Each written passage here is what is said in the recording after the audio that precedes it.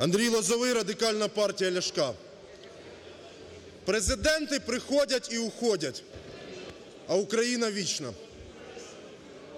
Давайте задумаємося, а кому ви давали присягу? Президенту Порошенку чи українському народу? 1991 рік, 2004 рік, 2014 рік саме український парламент рятував українську державність. І так само сьогодні парламент рятує нашу державність. Чому?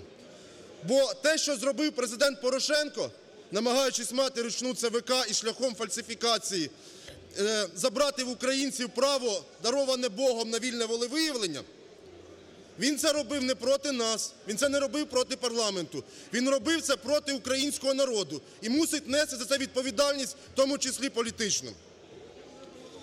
Я хотів би звернутися до колег з фракції БПП.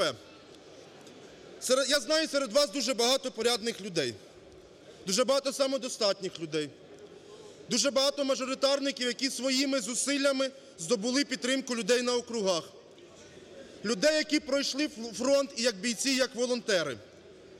Скажіть, будь ласка, до останніх особливо, а за кого ми воюємо? За Порошенка чи за Україну? За сильну, демократичну, європейську, багату, заможну, де люди відчувають себе захищеними.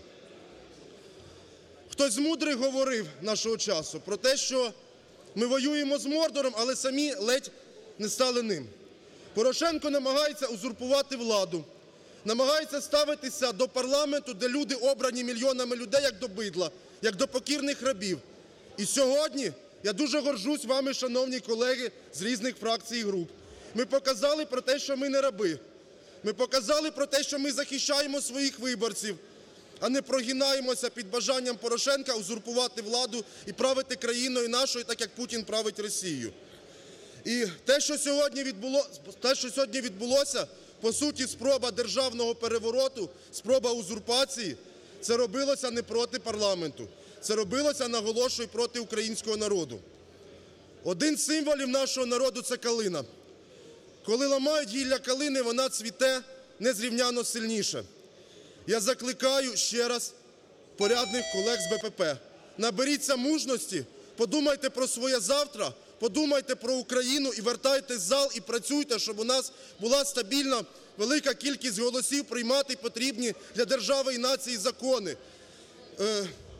Промисловий пакет реформ, купуй українське, е, криміналізація фальсифікації ліків, закони потрібні для захисту українців.